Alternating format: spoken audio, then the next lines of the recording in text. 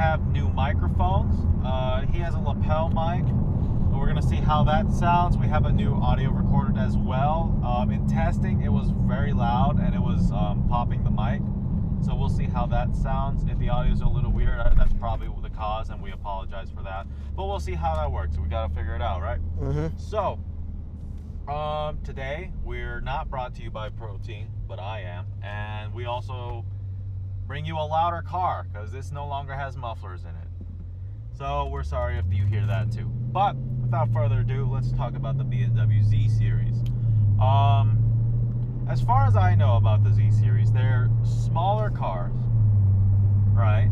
And they have obviously they're gonna have less power because they have smaller engines. Mm-hmm. But the whole point of them is similar to the Miatas. What is that an Oscar Mayer wiener?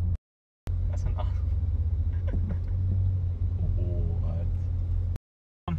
They're small, quick cars with you know, I mean, because they're light, they're very sporty. They you can whip them around and stuff like that. And I mean, I guess for me, they look like it would be a competition, a, competitor to the Miata and the 128 Spider, which we'll talk about as we compare these cars. But uh, he has all the information today, which is why he's got the lapel mic on. So I'm gonna go ahead and let him start. All right. So as he said, BMW Z series, uh, specifically Z4. Z4 comes in three models: the S-Drive 28i, S-Drive 35i, and S-Drive 35iS. We're gonna start with the lowest model. I'm sorry, that's my GPS. I need this GPS on though. Um, S-Drive 35, S-Drive 28i starts at $49,700. It comes with a four-cylinder, two-liter turboed engine that produces 240 horsepower and 260 pound-feet of torque. That is about it. That's all the engine has to offer. And then within the car, it has, or with the car, it has the S-Drive rear-wheel drive system, basically meaning the car is in a perfect 50-50 weight distribution. Meaning, from the middle to the front, middle to the back, it's equal weight all the way across, giving you the smoothest experience you possibly can get when cornering, turning, driving in a straight line with this with these kind of cars. Um, then they have the cornering brake uh, control, which is their CBC. Basically, it asymmetrically adjusts brake pressure as you drive. For example, let's say uh, I'm driving the Z4 and I see a corner coming up and I want to hit it hard. I realize halfway through the corner, oh no, I can't hit it this hard. So I brake. When I start braking, I start oversteering. The computer senses that and adjusts the brake pressure for me as I'm braking and readjusts the car so I will not oversteer extremely and weave into the other lane. Which is actually really, really good for terrible drivers. You know I mean? Then we have the adaptive M suspension. So basically, it's electronically controlled dampers. It adapts to your driving style and adapts to the road itself, which is just another thing to give this small little car better, smoother rides. So think about it. Let's say uh, you live in a city where we live, where there's always construction, the roads are always bumpy. These dampers are automatically stiffen and soften as you drive to give you the overall smoothest experience it can possibly get you which would be a lot better because let's say you're driving a lot of distances, it help you with fatigue a lot more. Because with stiff cars, you get fatigued easier. With smoother cars, you can I can go ahead and drive like 12, 15 hours, no problem. You know what I mean? That's basically all it offers. I'm gonna move on to the interior now. The interior is very simple and BMW-esque. So it has its dark and light fake wood trims. It has its dark and light uh, leather. And it has their hand stitched seats and then their BMW mat and their BMW console system. So what I mean by console system is like the mid console area. It's all BMW sport like. It has its little dials, has its little buttons here and there. So overall, it's all BMW esque. Other than that, it doesn't really offer much. It has two seats, has a little bitty trunk. That's it. This car has nothing, offers nothing more. It's a very tiny, tiny cockpit. Um, other than that, I'm gonna move on to the next one. So there's Z4 S-Drive 35i, which starts at $57,500. Comes with a three-liter, six-cylinder turbo engine, which is producing both 300 horsepower and 300 pound feet of torque. Not bad in a small car that weighs around what, 3,200, 3,500 pounds. right? Not bad at all. That thing can get it. Again, it still comes with its rear-wheel drive system. It still comes with its uh, CBC, which is the cornering brake uh, control, and it still comes with its adaptive M suspension. Nothing else. It just has a bigger engine and a bigger price. Now we're gonna move on to the Z4 S-Drive 35IS, which starts at $66,350. It comes with a 3-liter, six-cylinder turbo engine, which is producing 335 horsepower and 332 to 369 pound-feet of torque. Why is that? Because it has an electronic controlled overboost function, meaning depending on where you're driving, depending on what you're doing, the torque on the vehicle itself will fluctuate. In my mind, I'm assuming this is to save gas, but I don't see why. Why not just keep it 335 horsepower and 369 pound feet of torque? Give that little extra push all the time. Um, other than that, the car isn't really special. Maybe a little bit nicer on the inside. Um, other than that, it comes with all the other packages and all the other stuff that BMW has. And the packages include their Hyper Orange package, which is a Valencia orange metallic paint. The really nice, cool orange, expensive paint with the Alcantara, Alcantara sport seats with obviously orange accents to match your paint on the outside. That's it. That's all that package is. Then it comes with the M Sport package, which isn't really sport. It kind of just um, gives you a sporty feel, sporty look. It really just gives you an aero kit, a uh, M steering wheel, which is just a regular BMW steering wheel with uh, an M badge, and it's flat at the bottom, so it's sporty. Get it? Like a sports steering wheel. Then it comes with their um, really nice Alcantara headliner, which actually I think is a nice touch. And that's about it. Nothing really too special about their M Sport package. Then their sound package, which is um, like every other car that we've so far, they have a sound package, which is just a better subwoofer and generally more speakers. So this one comes with a subwoofer and eight speakers rather than just six speakers. Then we have their Hyper Burnt Sienna package, which is um, their choice of I think five or six really nice high and expensive paints. They're ivory or uh, black Nappa leather, and then they're really nice, more expensive wood trim, which in my opinion looks pretty decent actually, but not worth it. Other than that, they do not offer that much on these Z cars, and that's literally all there is to it. There's nothing more and there's nothing less to these Z cars. Anything else to add? Um, well, I guess talking about you know our idea of value, comfort, performance.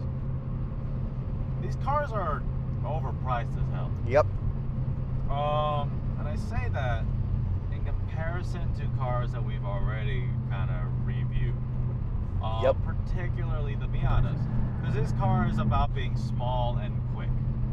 Very, very light with a smaller engine, but the power that the engine makes is just enough for the weight and for it to go around corners and handle well on a track or whatever, or canyon roads or mountain roads, which is what these are really for. But forty-six thousand dollars to sixty-six thousand dollars.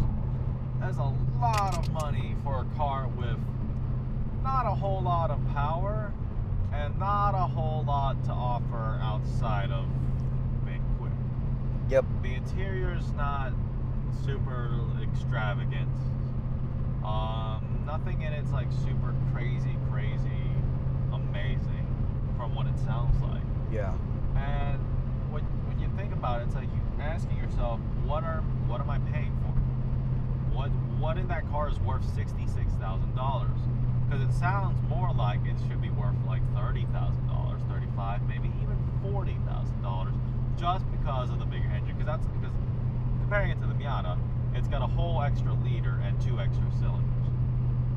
So sure, it'll cost more, and it's a little bigger, so it'll Yep. cost more in just material wise and tuning.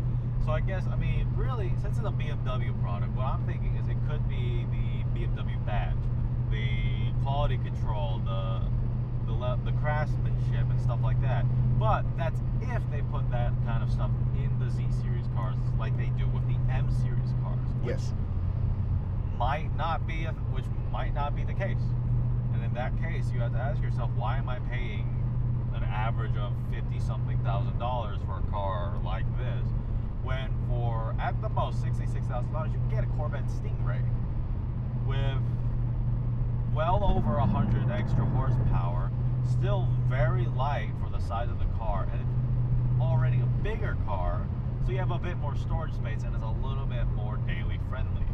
Um, I, in my opinion, um, or it sounds like it seems like it's more friendly as a daily driver, despite being a crazy sports car. Mm-hmm. And honestly, once again, it's like it's just a price. You, with with a Corvette, you're getting a bigger engine, way bigger engine, and you're getting good performance, like top end performance. Because the Corvette team that makes that develops all that with the brakes and the uh, tuning and every, the suspension, everything, that is what you're paying for that car.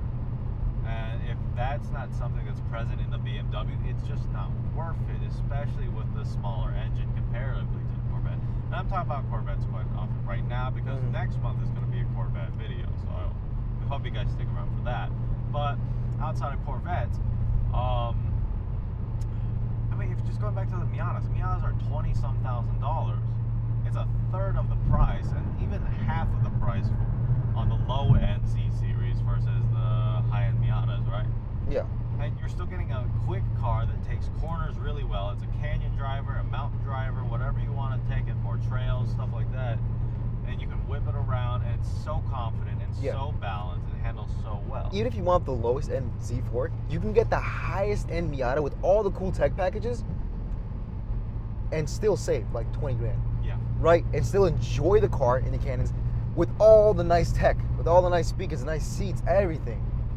Like, what's the point with these Z series? Yeah, like it's just not worth it. It doesn't have the life that the M series cars has, and it just doesn't have the appeal that BMW typically has. And it's kind of uh, annoying for that fuck that huge sticker price that's on it. And honestly, like I said, it's just really not worth it to me. I mean, if you think it's worth it, feel free to tell me if you've had one before or if you've experienced one and it's actually way better than it sounds on paper on looking up the information for it. Feel free. But right now, just from what we're gathering, from the information we can find that's available to everyone and putting it together for this video for you guys to figure out what cars you guys want or are interested in buying it, it just doesn't sound like it's worth it, man. Mm-mm.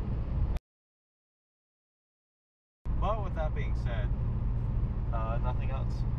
Nah, nothing. Thank you so much for watching episode 8 of 100 CCs with us. Um, I know this one was a little bit more negative, but I just don't like the car. No, don't, not at all. Um, but next month we're going to be talking about Corvettes, and that's going to be fun. And then in the last, Yeah.